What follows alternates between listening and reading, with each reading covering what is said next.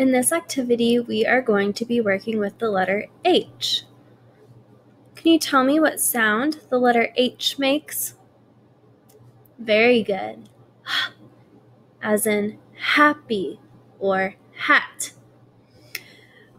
When we are listening, we are going to turn on our listening ears and we are going to listen for the letter H.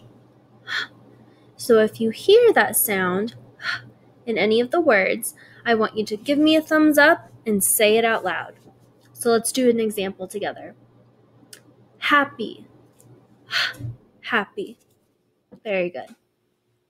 Hat. Hit. Not. Hop. House. Happy. Hair. Mop. Point. Hand. Day. Heel.